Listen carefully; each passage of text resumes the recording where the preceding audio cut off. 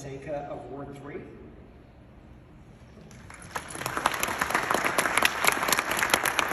Councillor Matt Mahoney of Ward 8. Councillor Pat Saito of Ward 9. Councillor Sue McFadden, Ward 10. No.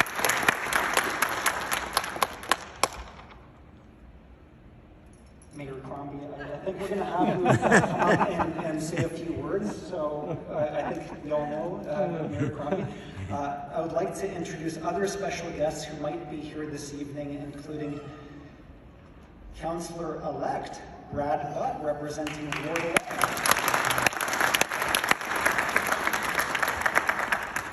Thank you, Councillor-elect, for, for being here this evening.